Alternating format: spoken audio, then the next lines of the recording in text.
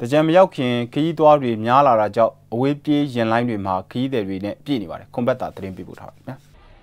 နေ့တစ်ကူအတာတကြံကာလမှာကိုအိမ်ကိုပြန်ကြတာနဲ့တကြားမြို့တွေမှာတကြံပျော်ဖို့အလဲသွားတဲ့ခရီးသည်တွေများနေတာကြောင့်နေ့စဉ်အဝေးပြေးရင်ရနာစကန်တွေမှာခရီးသည်တွေနဲ့ပြည့်နေတာပါတကြံအကျိုးကာလအတွက်တချို့ရင်တွေတိုးမြင့်ထားတာတွေရှိသလိုတချို့ခရီးသည်တွေလည်းအခုလိုကာလမျိုးမှာကားလက်မတွေကိုဆယ်ရက်ကြိုပြီးဝယ်ယူရတယ်လို့ပြောပါတယ် ဟိုလိုမဲ့ရောင်းမဲ့နေ့သွားတယ်မရှိတာနဲ့ကုန်သွားတယ်ကျူတင်ဘယ်နှစ်ရက်လောက်ဝယ်ခဲ့လဲอืมဆယ်ရက်ကျော်တယ်ကားပုံမှန်နဲ့တော့ပုံမှန်ခီးစင်နဲ့တော့ကားတွေတိုးထားပါတယ်အဲ့ဒါလည်းလက်မှတ်တွေတော့အကုန်လုံးရောင်းပြီးပါပြီကုန်ပါပြီကားပြည့်လူပြည့်ပါပြီဘယ်လောက်ဝန်းကျင်လောက်တိုးလဲအဲကားတစ်နေ့ကို53စီ44စီလောက်ထွက်ပါတယ်တချို့အဝေးပြေးတဲ့ရင်တိုင်းတွေကတကြံကာလကိုအကြောင်းပြုပြီးရင်စည်းခပူတောင်းတာတွေရှိပါတယ်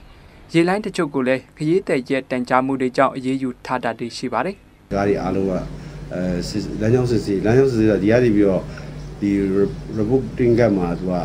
ရိုက်ပြီးတစ်စိထိုးပေးတယ်ဆိုတော့ဟိုပြန်စစ်စစ်ပြီးတော့ထပ်မံတစ်စိထိုးရိုက်ပြီးတော့ဟိုဘက်ကတကစစ်စစ်လို့ရှိရင်ခြားတိုင်းဒေသကြီးနဲ့ပြည်နယ်စစ်စစ်လို့ရှိရင်စစ်စစ်ခံတာဥတော့လုပ်ပြရတယ်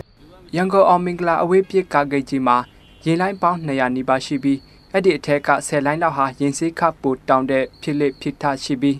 တချို့ကပိုင်ရှင်တွေမသိပဲအောက်ခြေကတာဝန်ရှိသူတွေကြောင့်ဖြစ်တယ်လို့ မထတာဥက္ကဋ္ဌဦးညွဝေကပြောပါတယ်။ရန်ကုန်မြို့ကနေအခြေစိုက်ပြီးကုန်းလာနဲ့ခရီးသွားရမှာမင်္ဂလာဒုံမြို့နယ်မှာရှိတဲ့အောင်မင်္ဂလာအဝေးပြေးရင်ရနာစခန်းနဲ့လိုင်တာယာမြို့နယ်ကဒဂုံအေယာအဝေးပြေးရင်ရနာစခန်းနှစ်ခုကနေတခြားမြို့တွေကိုပြေးဆွဲနေတာဖြစ်ပါတယ်။ကျွန်တော်ခွန်ပါတာပါ။